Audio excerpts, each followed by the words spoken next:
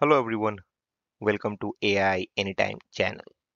In this video, we are going to look at AutoGen, an open source AI agent framework by Microsoft. So if you want to build AI agents, AutoGen can be a good starting point. There are other frameworks and libraries available like LangGraph, CrewAI, so on and so forth. But here we're going to look at AutoGen. If you want to find out videos on LangGraph and Crew AI, look at my AI agents playlist. Now in this video, we are going to use AI agents to basically decide between two different cuisines or dishes. One is sushi, which is probably more of a Japanese cuisine, and the other one probably a pizza, you know, which is like an Italian pizza kind of a stuff.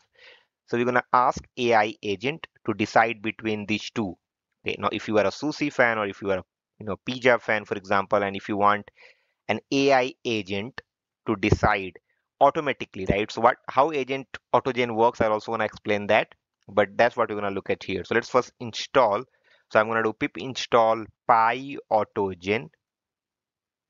And then I'm going to do pip install python.env because I will have my secrets in the env. And then I'm going to have pip install PyAutoGen and I'm going to use Anthropic. So if you don't know what Anthropic is, I'll show that here. You just do Anthropic and you get the API key here, you know, for Anthropic. You can go to console and you can find out your keys.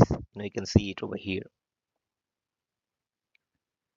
Now, if you want to know about AutoGen, you can look at this AutoGen, a programming framework for agentic AI, and you can go through their GitHub repository. This is how it works, you know, uh, mainly a multi-agent conversations. The agents can join chat and there will be a group manager of the chat and it's more of a collaborative agent framework and that's what I'm going to explain when we write the code. Now you can see we have installed these successfully Probably we also needed to install something else, but let's now do that. So what I'm going to do is import OS from google.colab import userdata because I have all of my secrets here in this secrets. So you can see I have all of my secrets, Agent Ops, Anthropic, Google, Grok, OpenAI, Runpod, Serpent, Tavily. Now from AutoGen, import conversable agent. Yeah, you can see it over here. It shows me and I think we'll be good. Now once you do that, it will take a bit of time. And the next that I'm going to do is get os.env. So I'm going to set the keys and then os.env anthropic API key whether this is fine and it will ask you to give access. So let's grant access. And now I'm going to, okay, because it, it asking two times because for OpenAI and Anthropic, we have to do it respectively. Now the next thing that I'm going to do is config. You have to create a config configuration for your LLMs and inference params and whatnot. So I'm just going to do config L, uh, list GPT, something like this and you have to decide def, define a list and inside the list you're going to define a dictionary with a key value pair so you can look at here model. I'm not going to use gpt 3.5 turbo though it had suggested me. I'm going to use gpt 4o and then i'm going to use mini. And I'm, I'm not going to do this in van i'm just going to use get env because i have said that in environment key and then this becomes a function not a list. Otherwise it will not be substitute you cannot you know extract it from there. So api key os.getenv gpt4o mini this looks good. Let me just run this. I'm just going to copy it here and run the same for anthropic. So i'm going to use two different llm but you can also use single llm i just wanted to use two different models so let's use claude. And here i'm going to use sonnet model. I have written the version for this. So let me just do claude. And i'm going to use Claude 3.5 Sonnet, and then if there is a specific version of Sonnet, and then API key is fine, but this will become anthropic, not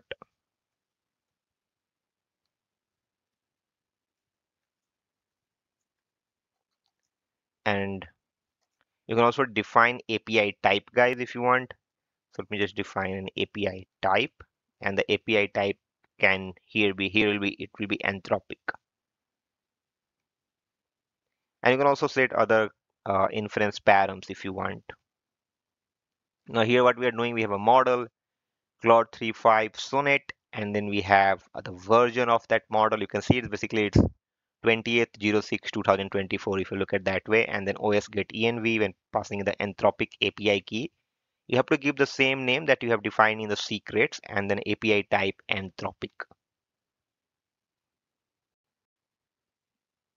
Now the next thing is we're going to de uh, define the agent. So let me just define the agents here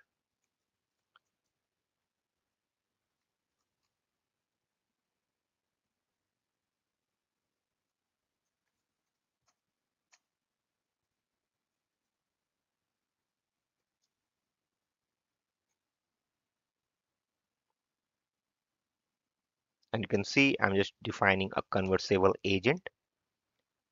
In conversable agent the first you have to give a name of that and I'm going to give this pizza lover or something.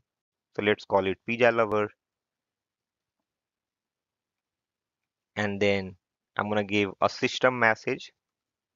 So you're going to give a system message. This is how you define. So in Crew AI that's different way of defining. In LangGraph it's a bit different but here you know this is how you define it. So name you can give system message you can give llm config you can also give human input mode if you want to give a human input you know for a given agent.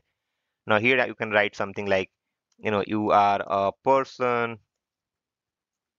who loves pizza and wants to spread its like how delicious it is right? Now if you want to spread that and I'm going to say around the world speak and this is what I'm going to write you know so speak. And then so system prompt is like based on your uh, expertise guys the domain expertise you know depending on what use case that you are solving. You speak passionately about the allure of uh, like pizza or something or you know if you if you want to write uh,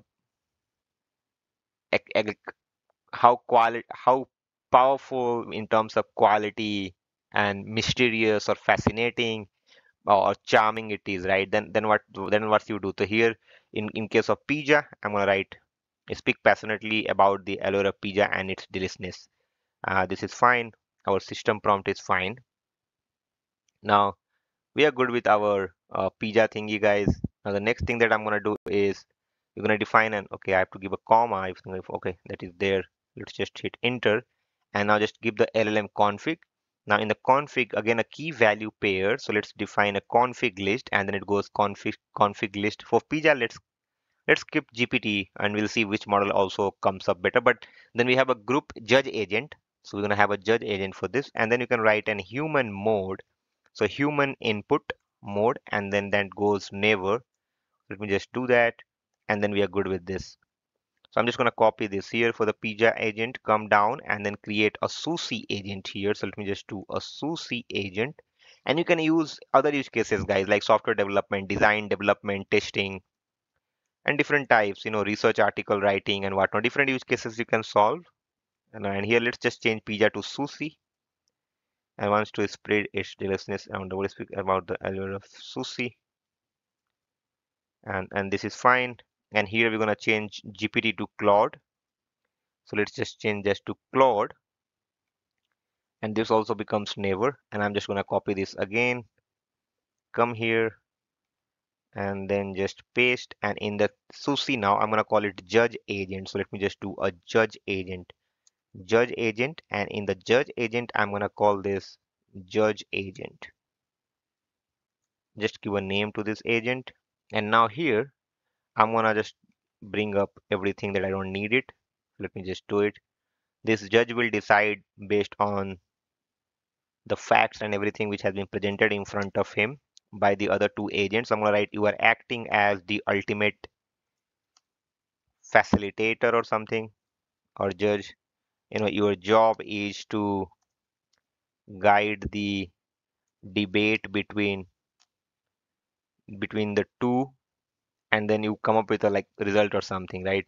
Now I'm just going to write between the two and declare a winner between the two and declare a winner uh, based on based on who makes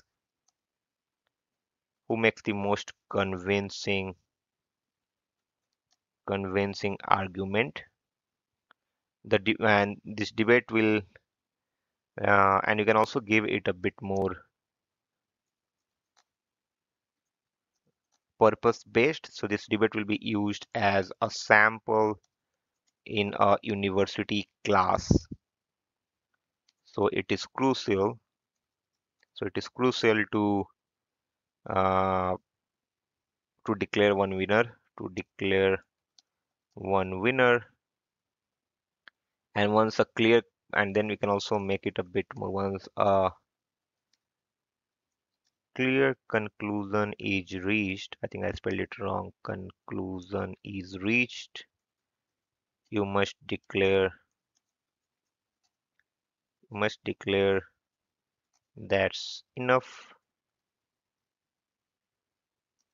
That's enough and and then just like award it and announce the winner.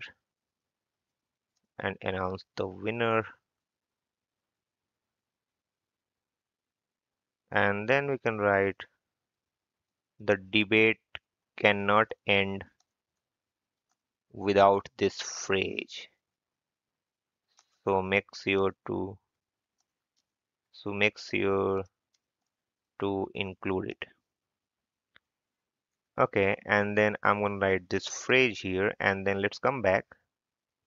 And config list I, am going to use GPT-4o for this. So let's call it GPT-4o and then here I'm going to use a termination like let's give a role. Yeah you can see each termination message and I am not going to use this completely. So I'm going to do is a bit differently. So let's call it lambda message. Yeah this is making sense in message content. This makes sense to me. Now if you look at here what i'm doing human input mode never and then i put a termination message. Each you can pass a termination message. I'm using lambda and i'm defining the message which is a variable that's enough in message content. Now we are using gpt and this is fine now let's do this. And now i'm going to have a description. So first is pizza underscore agent. Whatever you have named it and you give a description.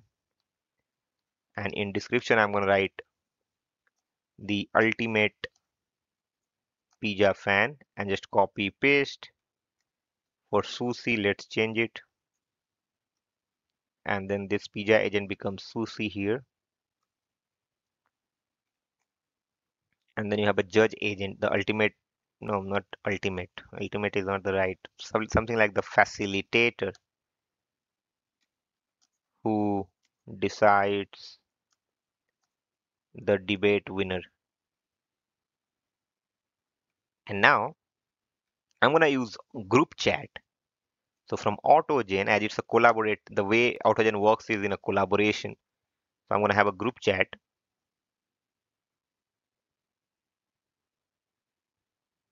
And we can also get group chat manager, by the way. So we later we don't have to import. Now group chat and group chat manager. Now let's define a group chat variable here. And in group chat, what I'm going to do is I'm going to use group chat and then let's use group chat. And in group chat I'm going to define agents and you can see what what had it suggested here. Pizza agent sushi agent and judge agent. Uh, messages is fine. Now let's keep send introductions. That is right. Let's make this true. It's a boolean value. And then we can have speaker selection method. And then I'm gonna make auto. Let's decide who will be the speaker. Max round not 100 is too much. I'm gonna make it 10 or something and I think we are good. So let me just run this here. It says invalid okay I forgot to give a comma here so that's fine. And now we have a group chat. Now you need a group chat manager and then the chat result. So let me create a group chat manager. So now I'm gonna have a group chat manager. So let me just do and group chat manager. And in the group chat manager I'm using group chat manager and passing the group chat which is group underscore chat and in the LLM config I'm passing the config. Here you can see config list GPT. So let me just run this. and then I'm gonna have a chat result so let me just do chat result and then use judge agent that's what you're gonna initiate here so judge agent dot initiate it's a function so it should give me initiate chat and in the initiate chat I'm gonna pass group chat manager and then let's start the debate and then summary methods or something like that. Uh, summary you can have a summary method and in summary method we can just have probably reflection. So there is something called auto and then there's reflection with LLM or something. So let, let's try it out otherwise we'll see. And let's see that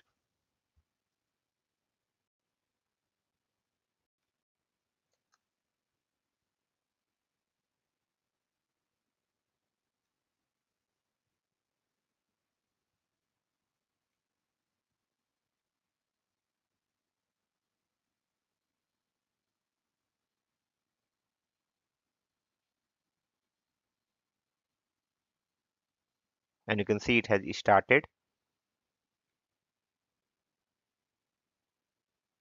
Okay and we got and we got the output for this one for the first iteration. That keeps going. You can see the judge agent. It will try for a few times and you can see the output here. When you and you can also make it a bit colorful if you want to make it colorful. Now if you go up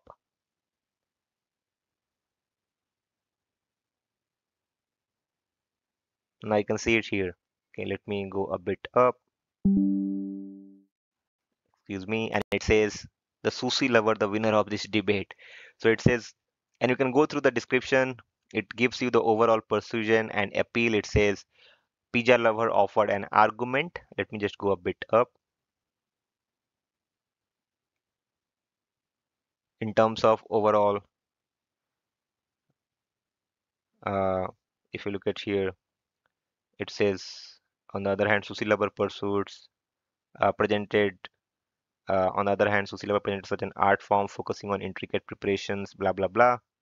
And that goes into each dish sushi was presented as a healthier choice pizza offered an argument that tapped into the emotional and social aspect that many people value in food. Sushi lover focused on cultural significance and health benefits of sushi and i think that's more important presenting it as a refined and holistic experience Ultimately, while both arguments are compelling, I believe sushi's unique culinary artfulness, health aspect, and sensory experience provide an edge in this debate. And then it declared sushi lover the winner of this debate. Now they have they have kept their views. You know, if you look at sushi lover and the pizza lover, blah blah blah, and it like is in reputation, so you can keep going up and you can read it. You know how they have presented it. Pizza lover is saying discuss something that brings joy to our palates and warms our hearts. Pizza, blah blah blah. Classic margherita, loaded supreme, or innovative dessert pizza, and, and talking about some food. So this is how you can create a group of agents, guys, that can interact, and then you can have a judge. Very simple use case that I wanted to cover, but you can you can replicate the same for other use cases as well and you can use AutoGen. A good start to use AutoGen for your building AI agents. If you are learning AI agents, I'll recommend you use, uh, you first uh, start with Crew AI and AutoGen. And once you have enough un understanding of how these works, because they are all high level API wrappers, you know, Crew AI has been created on top of LangChain. So once you understand these, then you can write your own custom agents, you know, uh, from scratch. And then you can use LangGraph and all, which is more uh, stateful, graph based, blah, blah, blah. So you can have a look at those agent frameworks as well. Now I'll give this code on my GitHub repository so you can, uh, you know, you can use this. Now, if you have any question, thoughts, feedbacks, do let me know in the comment box. You can also reach out to me through my social media channel. Find those information in the channel banner and the channel description uh, in this video description.